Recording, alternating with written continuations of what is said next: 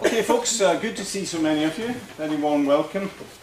Uh, the numbers have somewhat taken us by surprise, but there you are. Um, as I survey the scene, I see um, a number of folks who could be up here and maybe ought to be up here teaching rather than sitting there relaxing. Some a number of retired ministers, but um, uh, there you are. Um, we're going to begin today um, looking at creation, or a little a bit uh, about uh, what creation, what the, the Bible has to say about creation. Uh, so we're going to start by uh, reading from Genesis chapter 1.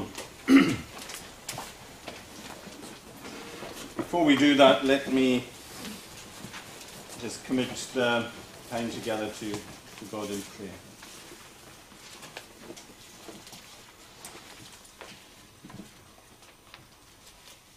Father of Jesus and our Father, we bless you that we have come to know you also as the maker of the heavens and the earth. And we ask that you would draw close to us and enable us to come close to you at this time. We thank you for the revelation that you have given to us of yourself in the scriptures and above all in the person of your Son, Jesus Christ. Thank you that in him and through him and by your Spirit you have enabled us to come to know you. And we want to grow in our knowledge of you and deepen our fellowship with you through the Lord Jesus Christ. So bless us in our time together today and uh, over uh, the course of these coming weeks, the occasions when we're able to come and to meet. We ask that you would, by your Spirit, open up our minds and hearts to see lots of things old in your word, things that we just need to be reminded of again and again, and perhaps also occasionally new things, new insights, new glimpses that we get of what you have been at about from the very beginning, and indeed from before the beginning, from all eternity and will be about in your faithfulness uh, to the omega point, which will always be a new beginning uh, in the new creation. So bless us, uh, open us up to all that you have for us through your word and spirit, and all we ask is in the name and for the sake of Jesus Christ, your Son, our Saviour. Amen. Okay, Genesis chapter 1. Uh, next week, I hope to speak specifically about what um, the opening chapters of Genesis have to say about humanity um, before going on to the fall. Um, so, some of that comes in Genesis chapter 1, uh, as you know. But let's read from the beginning of Genesis chapter 1. In the beginning, God created the heavens and the earth. Now, the earth was formless and empty Darkness was over the surface of the deep, and the Spirit of God was hovering over the waters. And God said, Let there be light. And there was light. God saw that the light was good, and he separated the light from the darkness. God called the light day, and the darkness he called night. and there was evening, and there was morning the first day or day one. And God said, Let there be an expanse between the waters to separate water from water. So God made the expanse and separated the water under the expanse from the water above it. And it was so. God called the expanse sky. And there was evening, and there was morning, the second day. And God said, Let the water under the sky be gathered to one place, and let dry ground appear. And it was so. God called the dry ground land, and the gathered waters he called seas, and God saw that it was good. Then God said, Let the land produce vegetation, seed bearing plants, and trees on the land that bear fruit with seed in it according to their various kinds. And it was so. The land produced vegetation, plants bearing seed according to their kinds, trees bearing fruit with seed in it according to their kinds. And God saw that it was good. And there was evening, and there was morning the third day. And God said, Let there be lights in the expanse of the sky to separate the day from the night, and let them serve as signs to mark seasons and days and years. And let them be lights in the expanse of the sky to give light on the earth. And it was so. God made two great lights the greater light to govern the day, and the lesser light to govern the night. He also made the stars. Kind of throwaway phrase, isn't it? He also made the stars. God set them in the expanse of the sky to give light on the earth, to govern the day and the night, and to separate light from darkness. And God saw that it was good, and there was evening, and there was morning, the fourth day. And God said, Let the water teem with living creatures, let birds fly above the earth across the expanse of the sky. So God created the great creatures of the sea and every living and moving thing with which the water teems, according to their kinds, and every winged bird according to its kind. And God saw that it was good. God blessed them and said, Be fruitful and increase in number, and fill the water in the seas, and let the birds increase on the earth.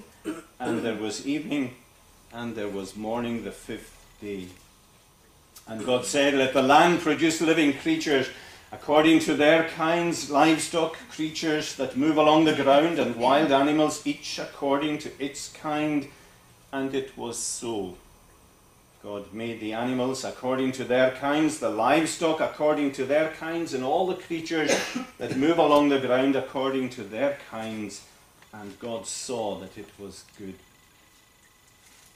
Then God said, Let us make man in our image, in our likeness. Let them rule over the fish of the sea and the birds of the air, over the livestock, over all the earth, and over all the creatures that move along the ground.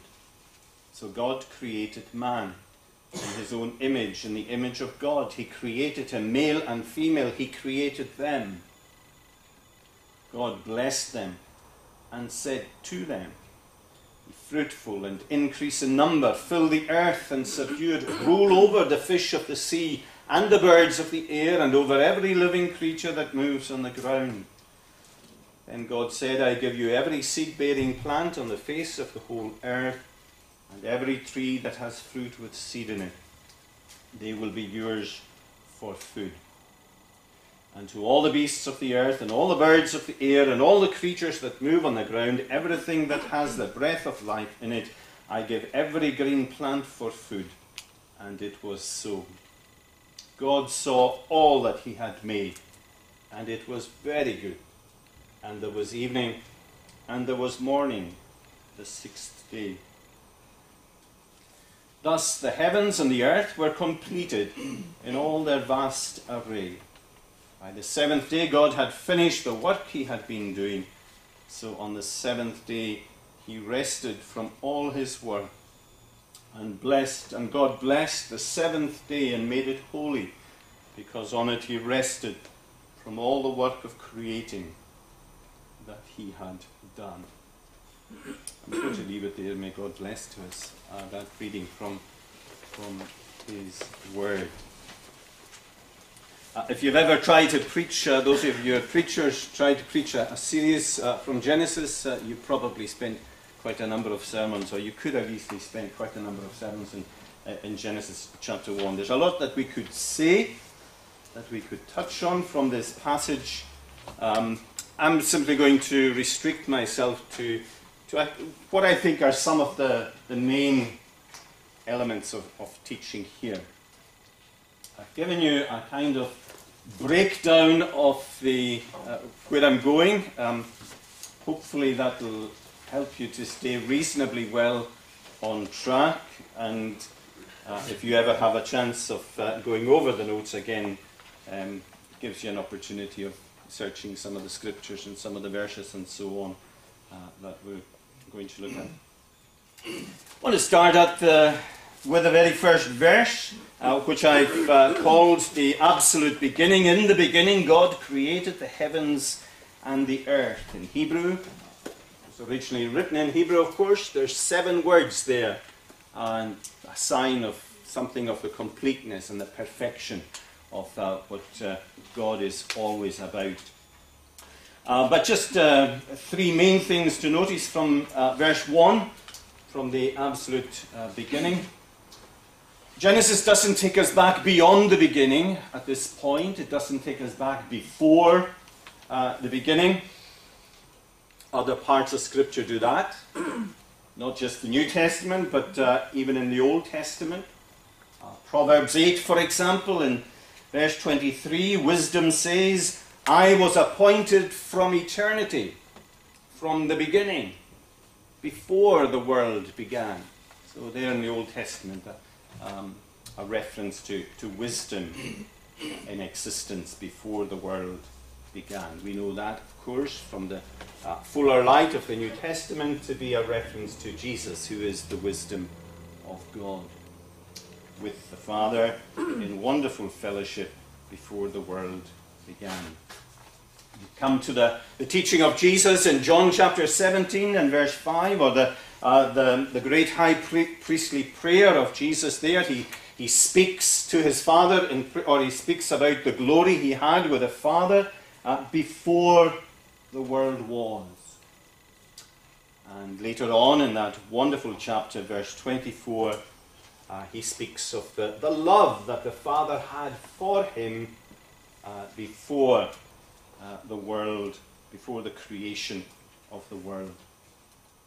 So, other places of Scripture uh, take us back, as it were, before there was a beginning, before there was any creation, before there was anything other than God.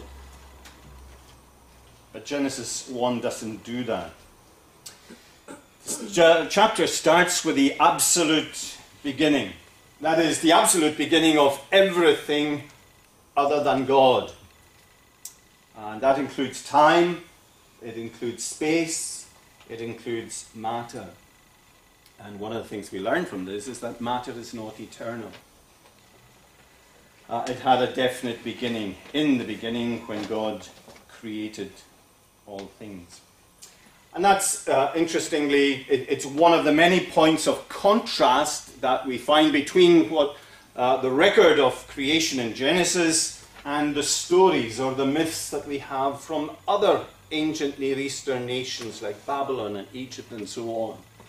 Uh, there's, there's, uh, there are some points of contact between Genesis and these other stories, uh, but mostly we learn that there is that there are great contrasts, and this is one of the, the great contrasts. In all these other stories, uh, matter seems to have always been there.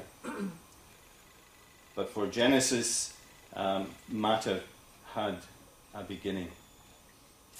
Uh, the second thing I want to point out from that opening verse is that um, God is identified there as the creator of the heavens and the earth. And that's a, uh, that's an expression that just means uh, everything. I think it's the Good News Bible that translates it universe. That's a good translation. God, in the beginning, God created everything. Uh, he takes the two extremes, as it were, um, heavens and earth, and everything in between is included, as it were. God is the creator of uh, the complete universe. So there's nothing that God has not created. And one implication of that is that everything belongs to him. He made it, so it's his. He made it, so uh, he is sovereign over it all. Uh, he is Lord of all. The psalmist in Psalm 24 uh, knew a little of that. The earth is the Lord's and everything in it. Why?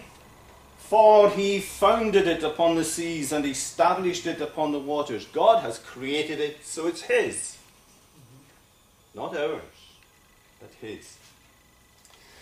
Another implication is that uh, everything owes its existence to God, and everyone owes their existence to God. Every one of us is dependent upon God. Every human being that has ever existed, whether they acknowledge God or not, depend on God. Atheists, agnostics, whatever. Paul uh, reminds us of that in Acts 17. For in him, and he's talking about all human beings, we live and move and have our being. The third thing I want to highlight from that opening verse is um, uh, the, the, the, Hebrew verb that lies behind uh, the word created in English. Uh, it's the word bara. It's a word that uh, in every one of its 48 occurrences in the Hebrew Bible, in the Old Testament, is used only of God, always of God. The God of Israel uh, as the subject. The God of Israel is always the subject of that verb. The Bible speaks a lot about pagan gods and idols, but uh, this word is never applied to their activities. Pagan gods are never said to create. Idols are never said to create. Even human beings are never uh, this are never the subjects of this particular verb. Are never uh, said to create in the way that God creates. Only the God of Israel creates, the God and Father of the Lord Jesus Christ.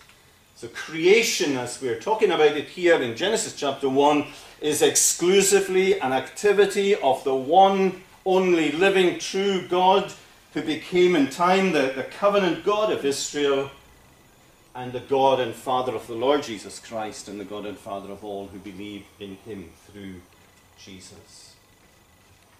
So, what is being described here is, as one commentator has put it, a creative activity without analogy. There is nothing to compare it with. Uh, this is absolutely unique. Only God creates, He is uh, the Creator. Does anyone have any comments or questions on any, any of that? Uh, feel free to, to chip in uh, from your vast experience and uh, all of that at any point. Perhaps when you begin to warm up, you'll, um, you'll chip in a wee bit more. Okay, on to verse 2. Now the earth was formless and empty, darkness was over the surface of the deep, and the Spirit of God was hovering over the waters. Uh, what's described here in verse 2 is uh, what I want to call Earth's early condition. Earth's early condition. Uh, and I think it's two things I want us to, to note in particular uh, from this version. And, and the first of these is just the centrality of the earth the centrality of the earth. Verse 1 uh, provides us with an introduction to God's work of creation. I think it also functions as a, as a summary of the, the whole of the work of creation as we find it in Genesis chapter 1, embracing everything in the heavens and the earth and the whole vast universe, material and spiritual. And then from that wide panorama, if you like, the, the camera focuses in very narrowly and very closely and very particularly on the earth. First word in Hebrew in uh, verse 2 is the earth. And that's very unusual in Hebrew. Hebrew sentences always start with a verb unless you want to emphasize something. And whatever comes first instead of the verb is what is the focus. So you've got this broad uh, panorama of the heavens and the earth, the whole universe, but the focus from that from verse two onwards is actually uh, on the earth. And everything else in uh, Genesis chapter 1 is actually described from the point of view of someone standing on the face of the earth, from an earthly vantage point.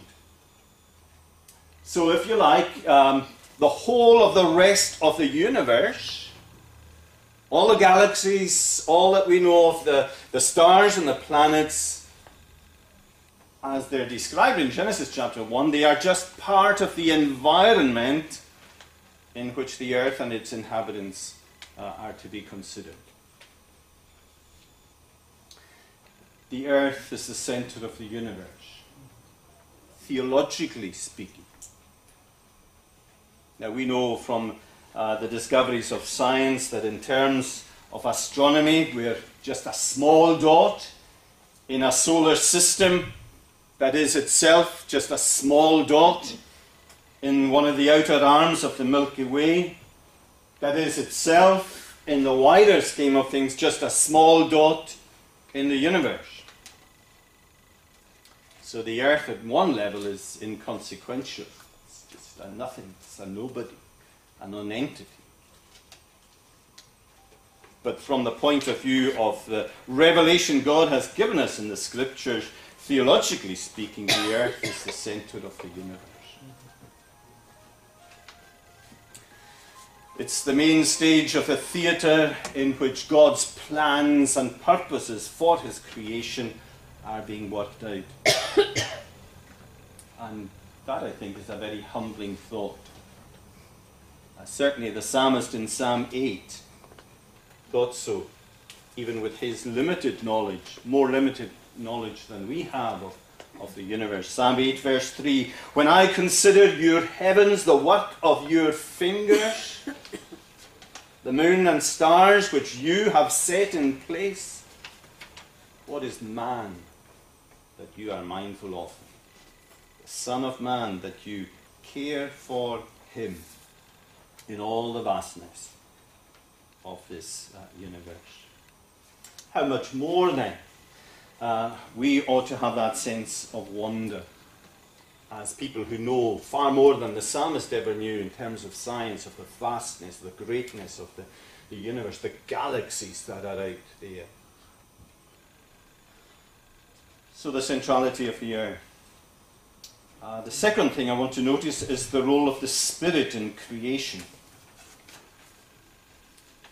Uh, in its early form, uh, the Earth's early, we might call it embryonic form, immediately after God's initial act of creation, uh, the, the Earth is described in verse 2 as being formless and empty.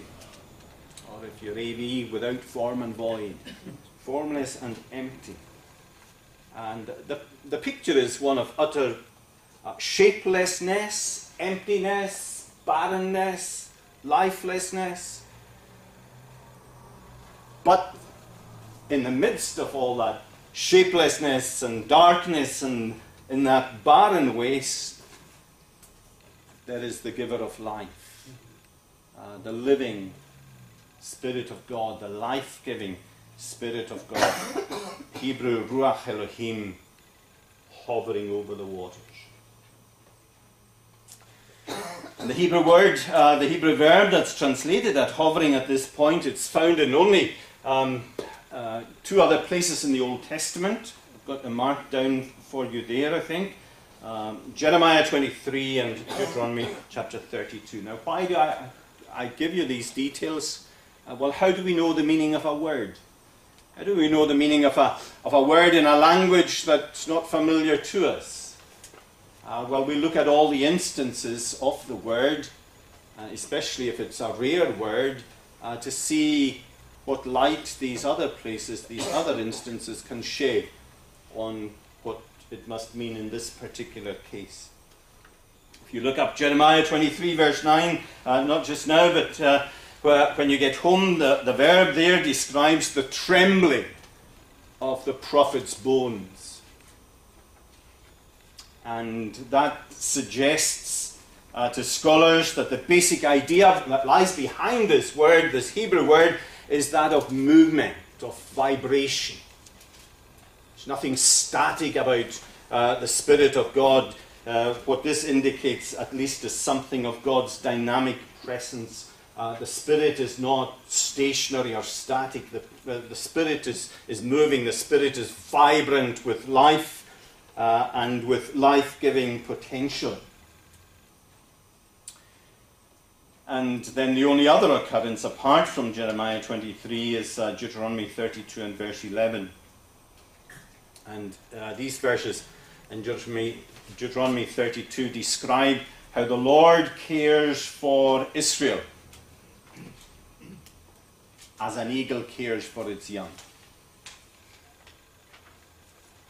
If you read in from verse 10 of Deuteronomy 32, uh, Moses there describes uh, the way the Lord met with Israel at, it, at the very beginning of its existence in a desert land. He found them. A bit like verse 2 of Genesis 1 desert conditions, waste, uh, no life. Uh, in a desert land, he found them in a barren and howling waste. He shielded him and cared for him. He guarded him as the apple of his eye. And on into verse 11 like an eagle that stirs up its nest and hovers over its young. That's the word, hovers over its young. That spreads its wings to catch them and carries them on its pinions. And I think that uh, very uh, vivid picture in Deuteronomy 32 gives us a clue as to how we're to understand the activity of the Spirit of God here uh, in the second verse of Genesis. It's like a bird. He's like a bird hovering over his nest, uh, over its nest. The Spirit of God is hovering over um, the young earth, the embryonic earth. Sometimes scholars say that the picture that we have of God in Genesis chapter 1 is of a remote God. But this is anything but the case. Think of the intimacy there uh, the Spirit has with the earth and this intimate concern that He has for the earth.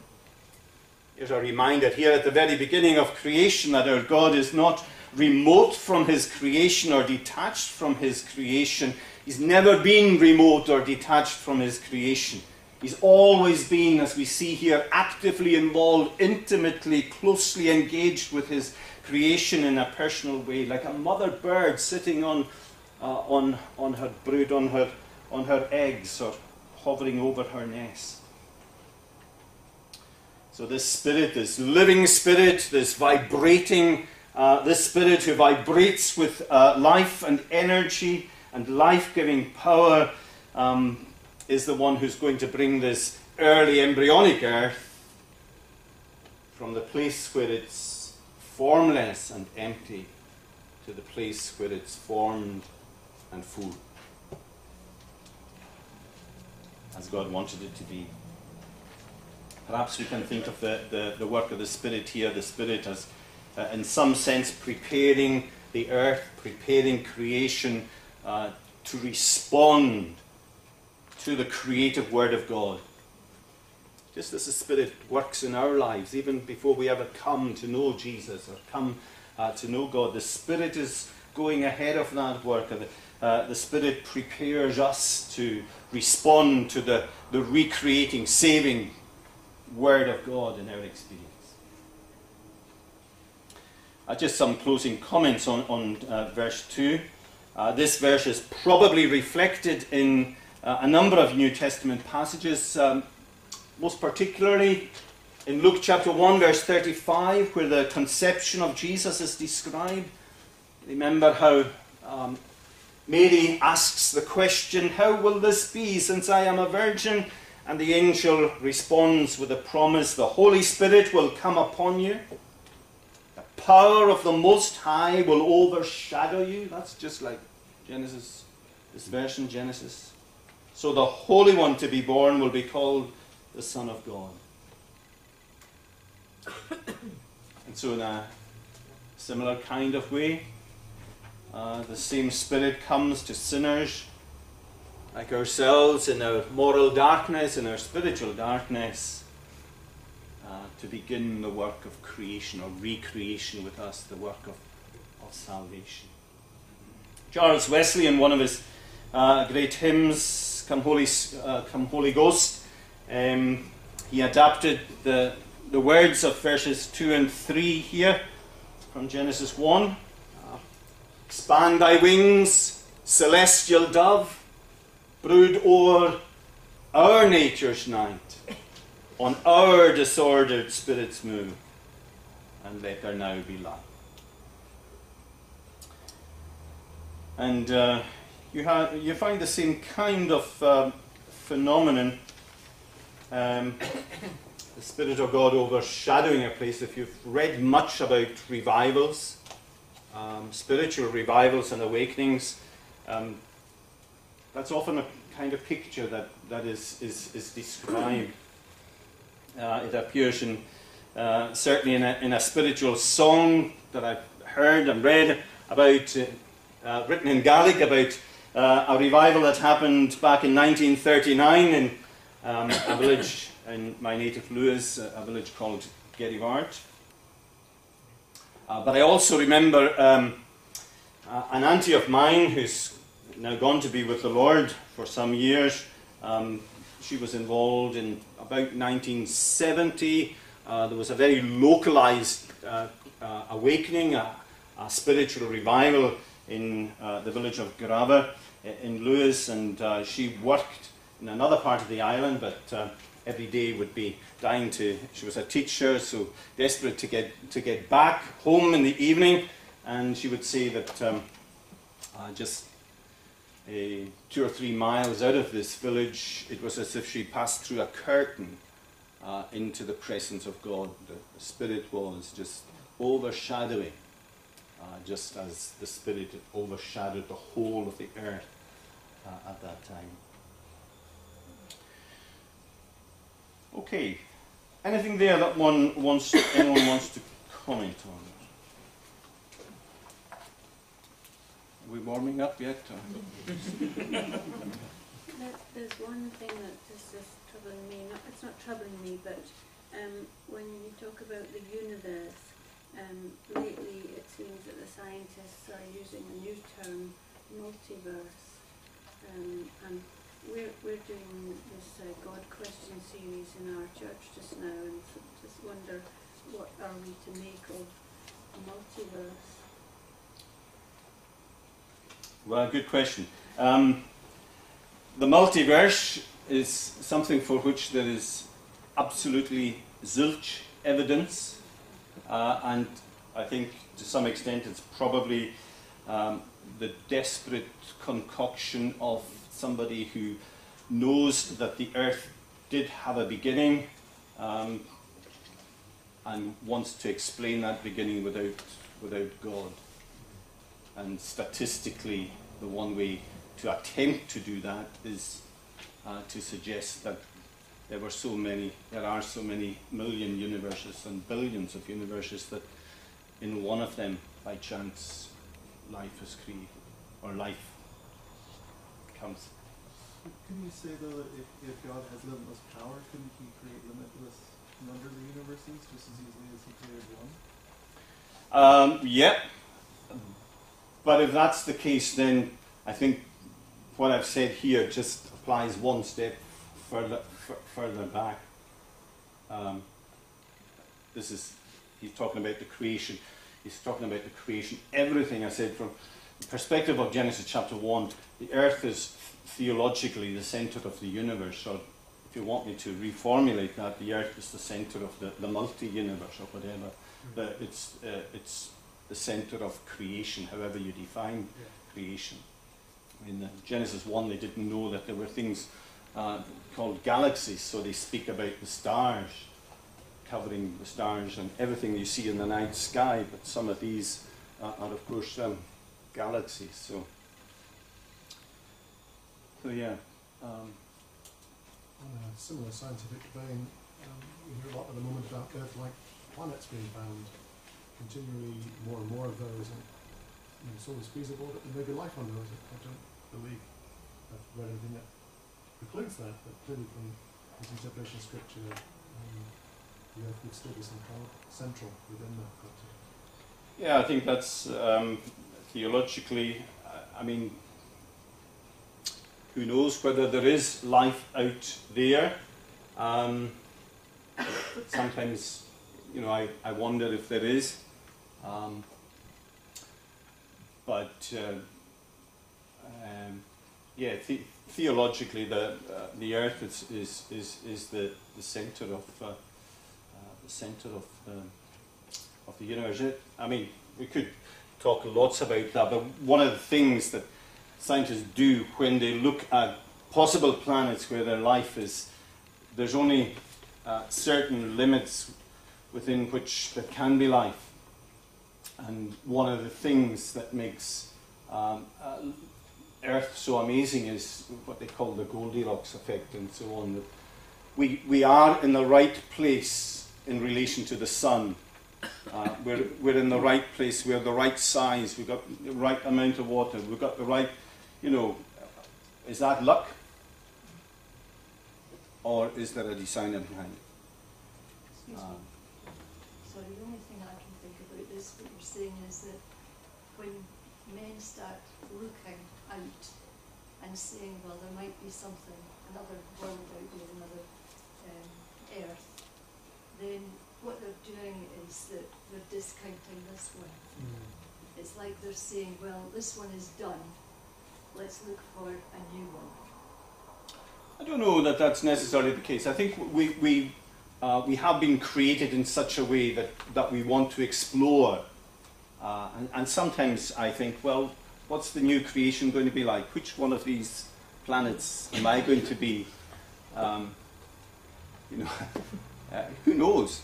Uh, you know, um, I mean, the, the universe is, is so so vast, and uh, we we have every reason to explore it, but we can explore it either believingly or we can explore it uh, wanting to keep God out of it.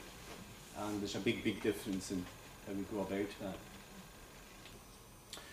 Okay, let's uh, let's go on to the the week of creation. uh, from verse three onwards. Uh, and again, there's so much here. I'm just going to highlight uh, some of what I think are, are the more significant themes from this um, section. And the first thing I want us to notice is the, the, role of the Word of God in creation. We've already noted from the previous verse the, uh, the importance of uh, the important role given to the Spirit of God in creation. Uh, the Spirit was present, caring for the earth from the very beginning. I think He was guarding the earth, sustaining the earth in its embryonic state. Uh, but I think also we're to think of the Spirit as the, um, the what we might call the dynamic agent by whom uh, all the commands that we now hear in the six days of creation, by whom all these commands are put into effect. Uh, he's the one who does the things that God asks uh, be done. He's the one who carries out God's purposes uh, spoken through his spoken word. Um, so I suggested that uh, it's by the, the active power of the Spirit of God uh, that the whole creation begins to be formed and shaped and beautified and then filled with a, a rich, uh, abundant variety of, of life forms. But if the Spirit had a central role to play in the work of creation, then so also does the divine Word. And that's picked up again and again in the Old Testament as well, without coming into the New Testament. Psalm 33, verse 6 By the word of the Lord were the heavens made, their starry hosts, by the breath or by the Spirit, the Ruach of his mouth. And uh, here in Genesis 1, we see the importance of the Word of God in creation. Ten times we have the phrase, and God said. Ten times. Ten words uh, that govern the whole of creation. Kind of parallel with the ten words in the Ten Commandments. If you've ever noticed closely in Exodus uh, chapter 20, um, uh, what we call the, the Ten Commandments, they're actually the ten words. Ten words by which God rules humanity and so on. Um, so there are ten words by which uh, he sets creation in order as well. Um, and God said, appears once in each of days one, two, four, and five, twice on day three, four times on day six. one of the many indicators that day six is important, but also a, another indicator that day three is, is also significant, particularly significant uh, in Genesis chapter 1. So, this phrase, and God said, is found immediately before every new significant advance that we have in the whole creative uh, process. Every aspect of creation happens at the Word of God. God speaks something new into being that never was before. Um, and it seems to happen, uh, according to Genesis 1, it seems to happen without any effort. Another of the great differences between Genesis 1 and the creation myths that we have uh, from all the other uh, nations, Babylonian and so on, uh, is, is, this whole thing. In all the creation myths, there are battles. There is no battle in Genesis chapter 1. There is no opposition in Genesis chapter 1. Everything happens. The Word of God is creative and powerful and effective. Psalm 148 uh, in the opening four verses of that psalm, the, uh, the, the angels, the sun, the moon, the stars, the highest heavens, the waters above the sky, all of these are called on to praise the name of the Lord, and the reason is given in verse 5 of the psalm For he commanded, and they were created.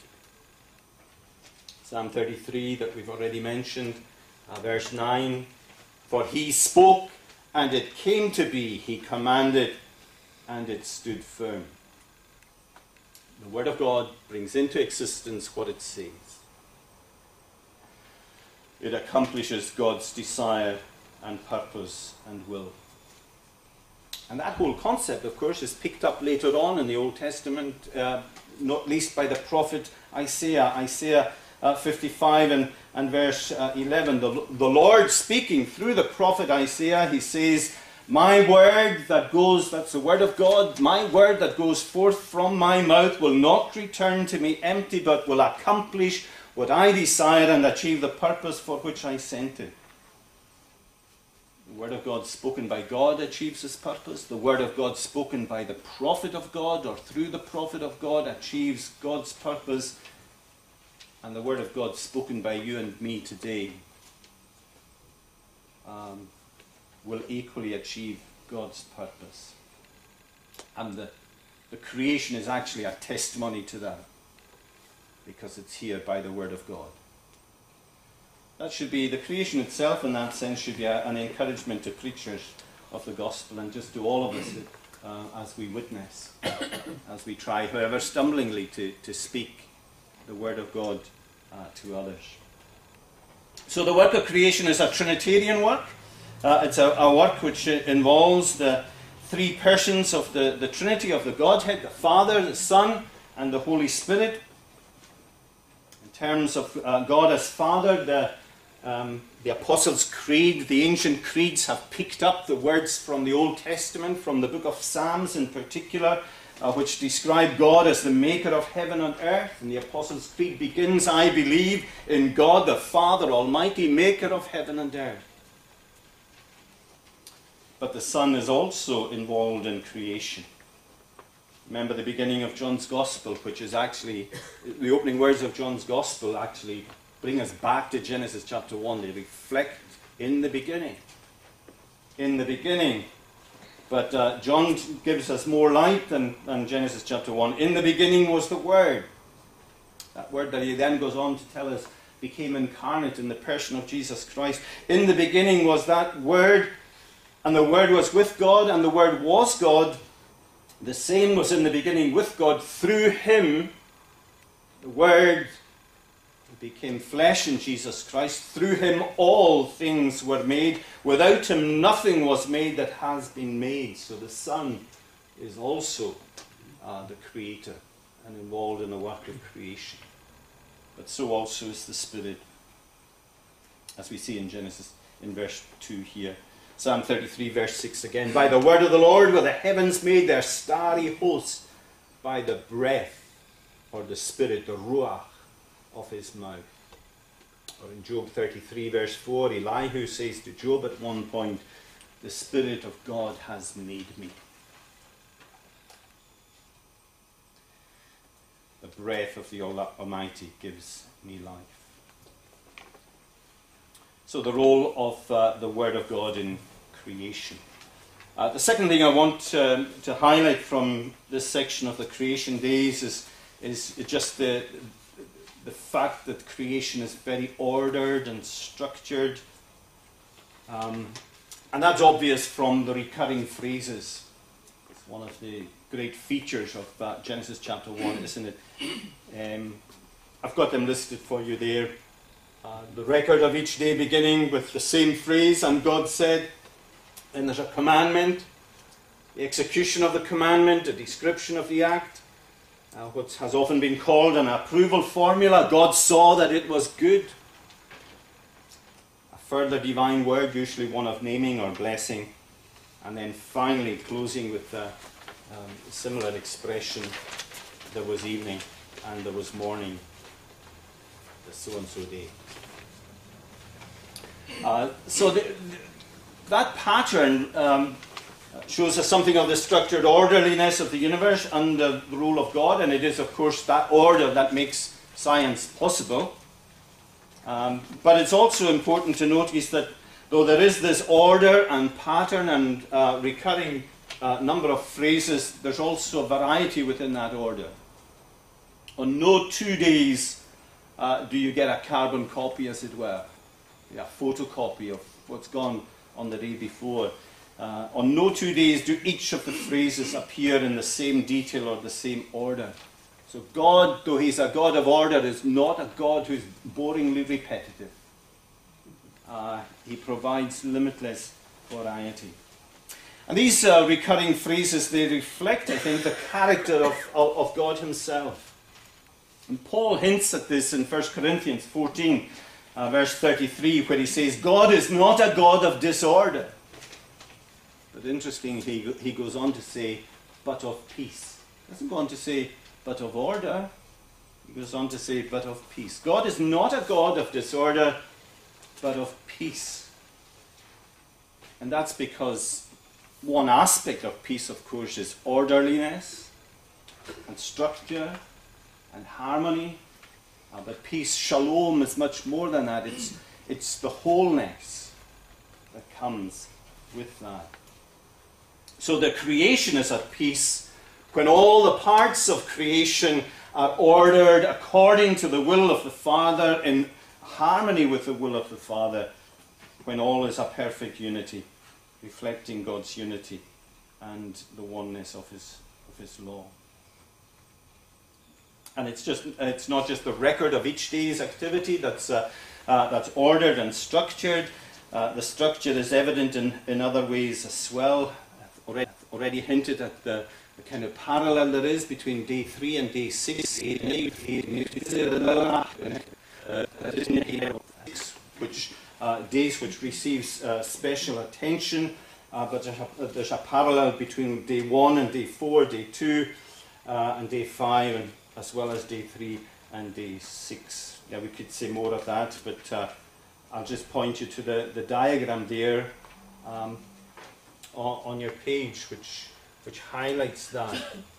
Day one is about light. Day four is about the light producing bodies. Day two is about the creation of sky and the waters that are separated by the sky. Day five is about the creatures that fill the sky and the water. Day three is about the land, creation of the land, the dry land, the vegetation that begins to grow on the dry land. Day six is about the creatures that fill the dry land, the animals and humans who are sustained by the vegetation that grows on the land. So there, there is a, a structure there. Um, Third thing uh, I want us to, to notice about uh, the, these six days of creation, or seven, the seventh day as well, there's a progression in the work of, of creation. Um, a steady progression. God takes the work of creation forward, stage by stage, step by step, towards its climax, which is the creation of uh, hum- human beings on the sixth day Uh, but that's not its end, that's not its goal. Its consummation comes on the Sabbath day, uh, on the seventh day, the, the, the Sabbath of rest, the opening verses of chapter 2.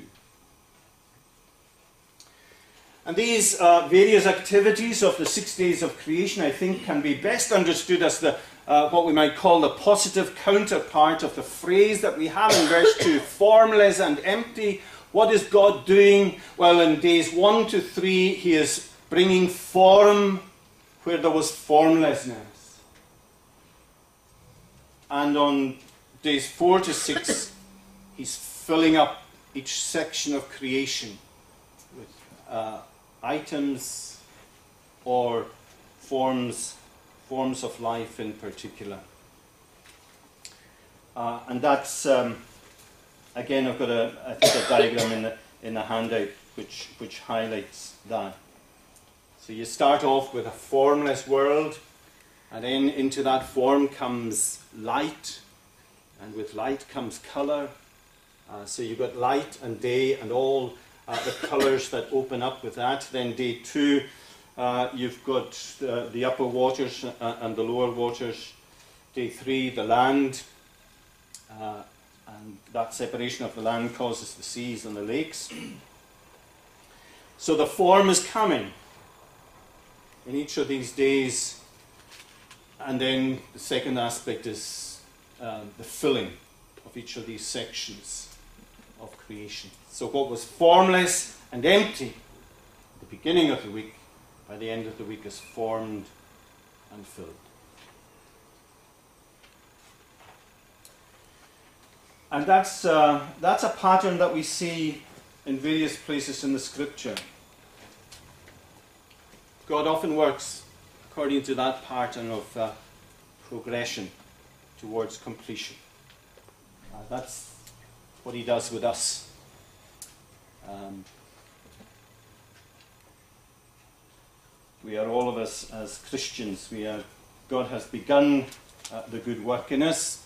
He's not yet completed the good work in us, but He's progressing. Uh, we're all works in progress. Uh, all works in progress. And Paul, um, Paul, I think, actually uses the, uh, the wording of Genesis chapter 1 and the beginning of Genesis chapter 2 uh, in a verse in Philippians, Philippians 1 6, which uh, many of us will have learned off by heart. He who began a good work in you. The good work is reflecting the language of Genesis chapter 1. God saw that his work was good. He who began a good work in you will carry it on to completion. Uh, the word completion uh, repeats uh, the words that we have in Genesis 2, verse 1, uh, which highlights the, the completion of the work of creation. He who began a good work in you will carry it on to completion until the day of Jesus Christ, the Lord's day, day of the Lord, the ultimate day of the Lord. So we can be equally confident that what God has begun in us, He will complete. He doesn't abort His initiatives. I think it's Peter in the New Testament who speaks about the faithful Creator. And that means that He's faithful to creation. And He's faithful to His new creation, those who makes new creatures in Christ Jesus. Uh, he's faithful to the whole of creation. He will he doesn't abort his initiatives. and uh, then a word about uh, the goodness of creation. At the end of each creative act, uh, you've got this uh, approval formula. Uh, God, like verse 4, for example, God saw that the light was good. What does the word good mean? Well, how is it used elsewhere in the book of Genesis? Uh, throughout the book of Genesis, um, the Hebrew word for, for good is most frequently um, used to draw attention to the quality of something. Uh, so in chapter 2 and verse 12, it describes good gold, the good gold uh, in paradise.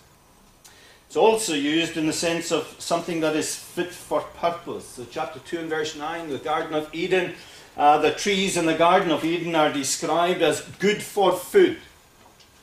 It's just perfect for giving us our provisions, for feeding us. It's good for food. The trees were good for food, fit for that purpose.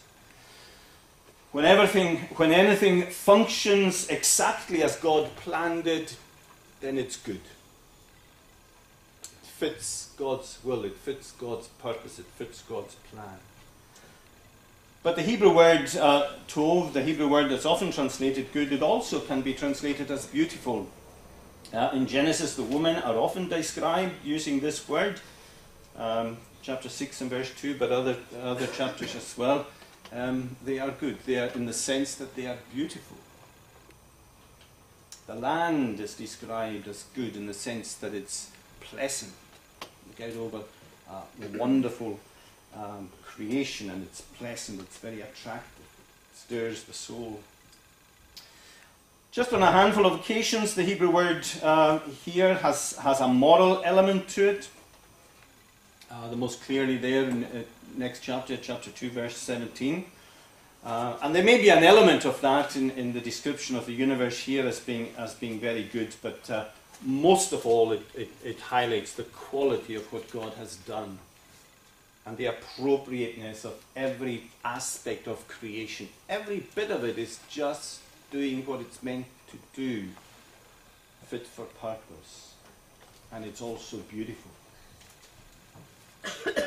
And at the end of the sixth day, verse 20, uh, 31, we read that God saw that it was very, do, very good. The whole is greater than the sum of its parts. The final work is perfect. What was formless and empty, a waste desert to begin with, has become perfection through the work of God. And what we have there in verse 31, I think, is as we have to some extent uh, at the end of each significant part of creation, as you go through Genesis chapter 1, you, you have God, the great artist, and he's just he's done the next bit of his canvas, and he stands back and he admires his work, and he says to himself, Yeah, that's great. You get something of the, the sense of satisfaction and delight that God has. Or, or God, the great gardener, and he's the one who plants the garden in uh, Genesis 1, verse 12. More of that in Genesis chapter 2. Uh, but he stands back. You ever done that with your own garden? You stand back when you've had a day uh, hard at work in the garden and you've been arranging everything and ordering everything, and, and it's, yeah, sense of satisfaction of, of uh, a work well done. Well, you do that because you're in the image of the God who did that at the very beginning uh, in Genesis chapter 1 we get a hint of the sheer delight as God stands back and he looks at this great uh, garden of creation that he's created and he says, This is just wonderful. And that's why we who are made in the image of God sometimes uh, will stand uh, before a scene in creation and uh, we're speechless. This is just wonderful. Very good seems inadequate in a, in a, in a way, but uh, um, I think that's the kind of, of, of idea.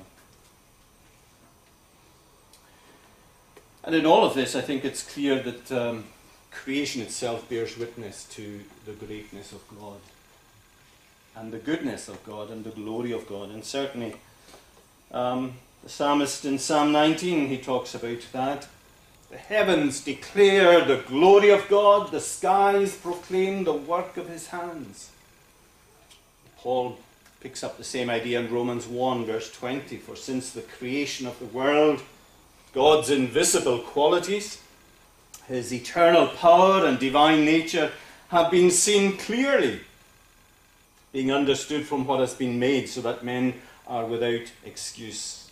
So we look at the creation see the power of the sea, and that reminds us of the, the almighty power of God, uh, and so on. We see the invisible God in that, in those kinds of things.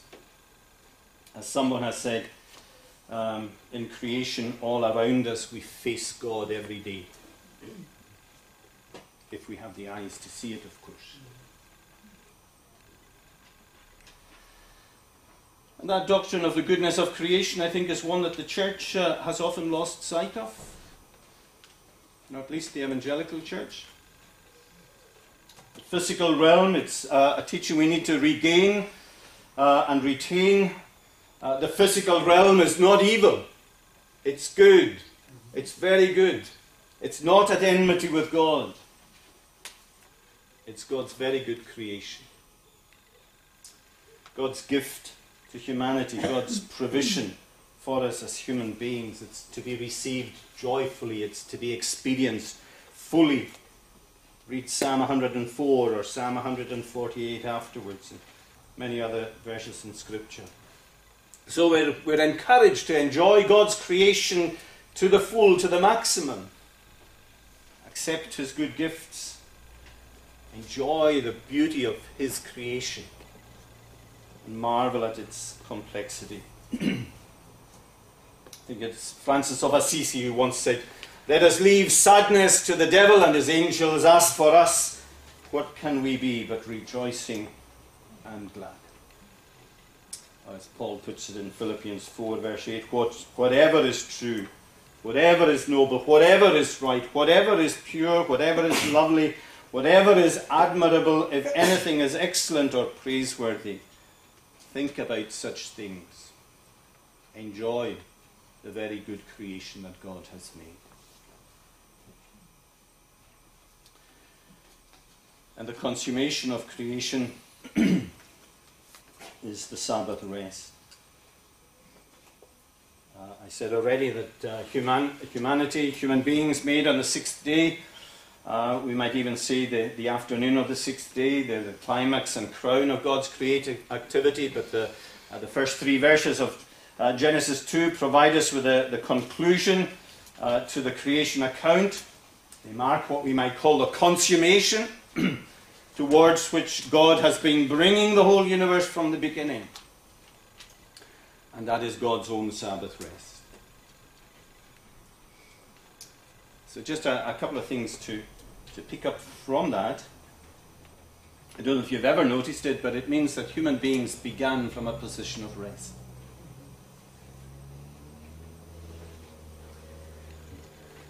Human beings were created on the sixth day. The animals came first, so it was the afternoon of the sixth day, let's say. Maybe even the late afternoon of the sixth day. It means that man's first full day on the earth was what day? The seventh day. It was the day of rest, the Sabbath of God's rest. So before he began to, re- uh, to work, uh, humanity rested. Human beings started from a position of rest. And that reminds us that uh, rest or God's rest is gift. It's not something that we strive for. It's not something that we can earn in any way. Uh, it's all gift. Gift from God. We find something similar in Israel's experience later in the, in the book of Exodus, at the time of the Exodus.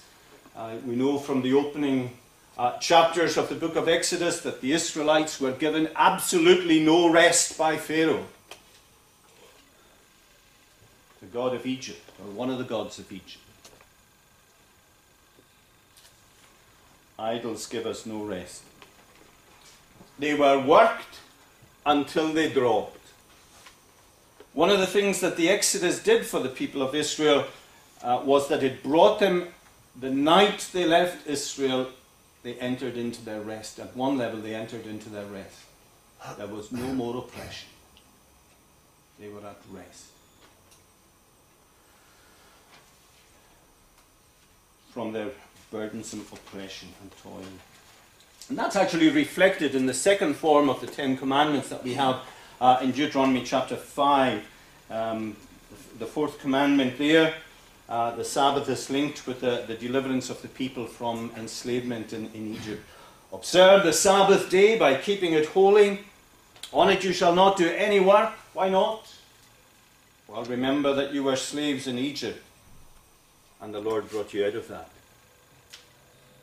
The Lord gave you rest from that. So, what God's work of salvation is doing there is restoring the creation order. We start from rest when we start with God. And it's true in the Christian life as well. We all, as Christians, start from a position of rest. The moment that we respond to Jesus Christ, you remember his words, Matthew 11. You've often heard them preach. Some, those of your preachers will have preached them. The words of Jesus Come to me, all you who are labor and are heavy laden, or weary and burdened, and I will give you rest. That's what happens when we come to Jesus. We start from a position of rest. We don't work for that rest. We can't earn that rest. We receive it as gift, the gift that Christ offers when we come to Him. And then we begin to work for Him from a position of rest. So we begin from a position of rest and we move towards our rest. Uh, and that we find that with creation as well. Here. God completes the work of creation in six days, rests on the seventh, he ceases from his work. Uh, if you like, we can say that he keeps the Sabbath. Uh, the verb is Shabbat. So he Sabbaths. God Sabbaths on the seventh day. It's a pattern that we find elsewhere in Scripture. It's a pattern that Israel were encouraged to follow in the fourth commandment in Exodus 20, verses 8 to 11. Six days' work followed by a day of rest. Um, we're not to be slaves to work. It's one of the things about society nowadays. We just drive ourselves on. Uh, society will drive us on to work and work and work and work. But we need to follow the, the order of God and rest as well. we move towards our Sabbath rest. We actually find this in the experience of Jesus uh, in terms of his whole life. Uh, you remember where he meets in John chapter 4, he, he meets the woman of Samaria and he says to her at one point, My food is to do the will of him who sent me and to finish his work. That's what I'm about, his work, the work of the Father, here to finish his work. Then later in uh, chapter 17, uh, he says to the Father in prayer, I have brought you glory on earth by completing the work you gave me to do. Where did he do that? Well, he was talking about the cross. Chapter 19 and verse 30 of John, uh, the words of Jesus from the cross, it is finished. The completed work of Christ, the finished work of Christ, the work of salvation on the cross. And with that, he bowed his head and gave up his spirit. What did Jesus do the next day? After he finished the work on the cross. Well, as far as his spirit was concerned, he enjoyed the rest of paradise with the thief on the cross. He dismissed his spirit to go with the Father. Today you will be with me in paradise. What about his body? Well, it was, he was crucified the day before the Sabbath. He was dead the day before the Sabbath. He was put in the tomb. It was the Sabbath. So he rested. His bruised and battered and dead body rested on that Sabbath, fulfilling the creation pattern and step with the whole will of God and all of that. Before he got up at the crack of dawn the next day to start the day of the resurrection, to start the next phase of his work. And it's something like that with ourselves. Revelation 14, verse 13 tells us that at death we rest from our labours far as our souls are concerned, we enter immediately into the rest of Eden, paradise, a closer presence of God, presence of Jesus, just with the, the, the thief on the cross. Today you will be with me in paradise.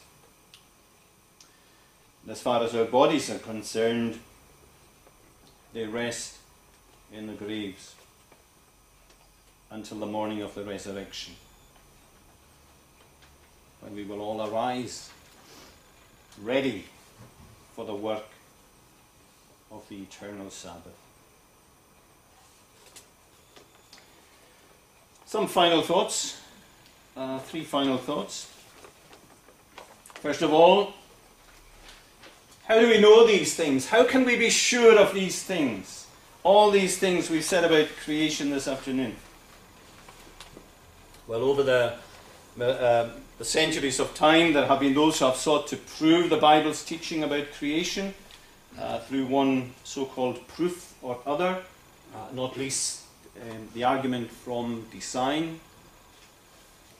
Uh, and I've no doubt that there's a lot to be said for that argument. I think it's, it's probably one of the stronger so called proofs for the existence of God. Um, basically, it's the evidence of order and design we see around us everywhere in creation suggests to us that there is a designer who designed that.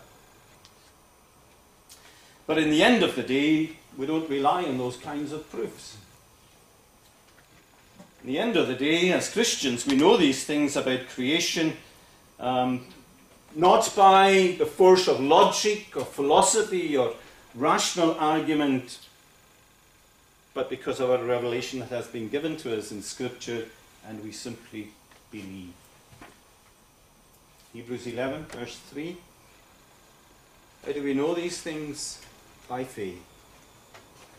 By faith, we understand that the universe was formed at God's command, so that what is seen was not made out of what was visible. It's a matter of faith. Faith in the person of God and in the words of God, whom we have already, as Christians, we've already encountered in the person of His Son, Jesus Christ. And through our saving encounter with Jesus, or perhaps better, through His saving encounter with us, uh, we've discovered that what the Bible says about Jesus and about salvation is absolutely true. And so we trust that what it says about creation is equally true. So by faith we know these things. Secondly, it ought to lead us to, to worship. Uh, the only appropriate response to all of this, um, the teaching of Genesis 1 and other parts of the Bible uh, about creation, is that we need to worship the Creator God. Human beings, in particular, made in the image of God, made with a capacity for fellowship with God, made with a capacity to, to express verbal worship, heartfelt, spirit felt worship to God, the crown and climax of creation, uh, we ought to worship Him. Uh, Revelation chapter 4. Uh, John was privileged in one of the many um, privileges that he had, one of the many missions, visions that he had. He, was, he had a glimpse into heaven in Revelation chapter 4. And he saw representatives of the covenant people of God, Old Testament and New Testament there. He saw representatives of the whole of creation worshipping the God who sits on the throne at the center of the, uh, of the heaven and of the vision. And these are the words that we read uh, Revelation 4, verse 9. The living creatures give glory, honour, and thanks to him who sits on the throne, who lives for ever and ever. The 24 elders fall down before him who sits on the throne and worship him who lives for ever and ever. They lay their crowns before the throne and say, You are worthy, our Lord and, uh, and God, to receive glory and honour and power. Why? Because you created all things. By your will they were created and have their being. Or, uh, as some of us sometimes sing, O Lord my God, when I in awesome wonder consider all the works your hands have made, I see the stars, I hear the mighty thunder, thy power throughout the universe displayed. How do you respond to that? Then sings my soul. my Saviour. Interestingly, not my Creator, but my Saviour. God to thee. How great thou art. How great thou art. And one final word. Uh, creation is where it starts, and creation is where it ends. Eternally. And the last two chapters of uh, the book of Revelation shows that clearly, but the other parts of the New Testament shows that as well. We don't end up eventually or forever at last in heaven. Or in a spiritual state in some disembodied form. We end up in a new creation. And I think sometimes uh, we lose sight of that. The faithful Creator is faithful to His creation. He brings the whole of creation to its planned conclusion, to its consummation, consistent with everything that we find in Genesis 1, the beginning of Genesis 2. He brings all His people at last in resurrected bodies to be part of a very real universe, a very real physical universe that is described in various places in the Bible as the new heavens and the new earth, or simply the new creation in which God Himself comes down to dwell amongst men, amongst human beings, forever. Revelation 21, verse 3 on the new earth in the new creation. So, creation is very, very important. Creation is forever because it's from the God who is forever. Any other, any thing that you want to pick up there or comment on?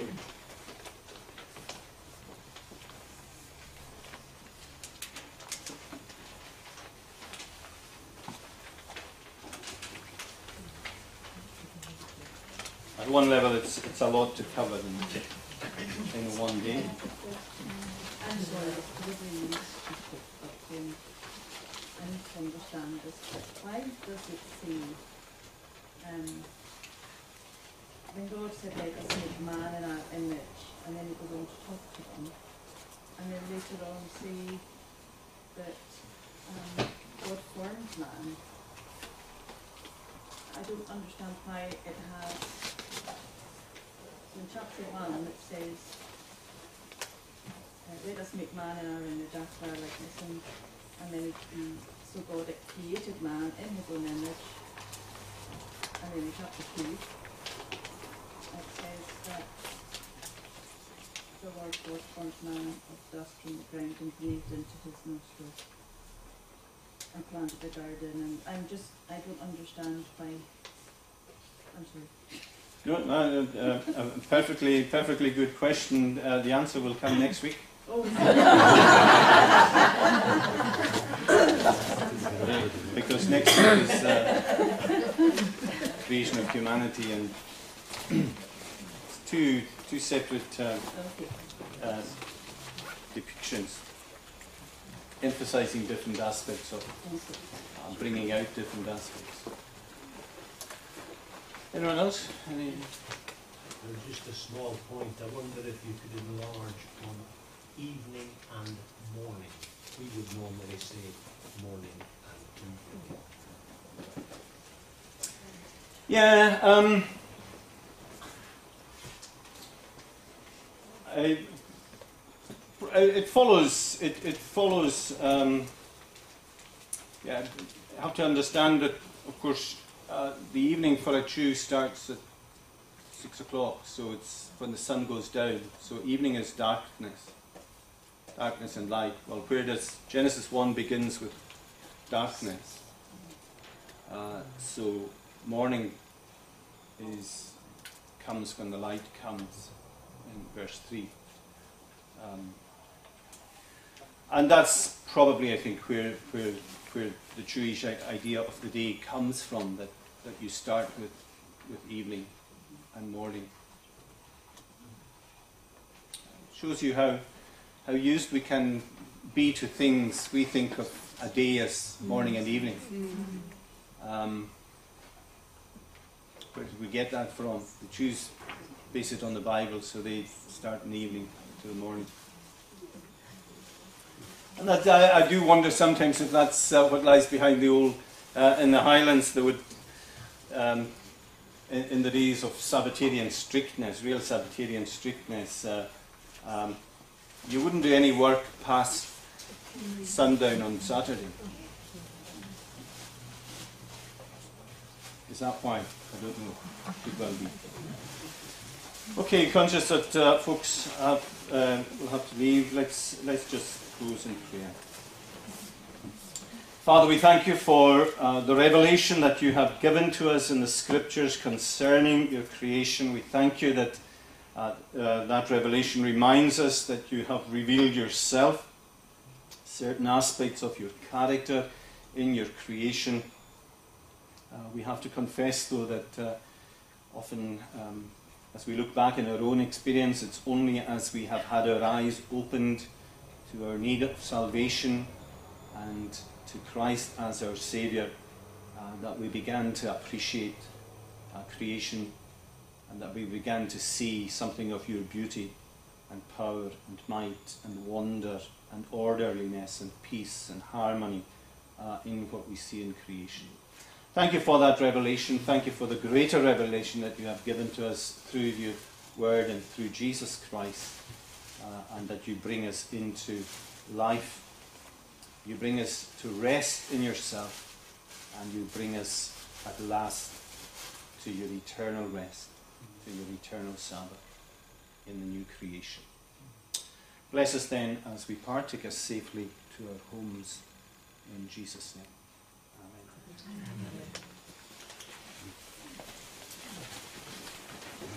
If the, if the Sabbath started in the evening, did it end following evening at six? Well, if you look closely, the seventh day doesn't have an evening and a morning. So why not? Is it an eternal Sabbath that's been spoken?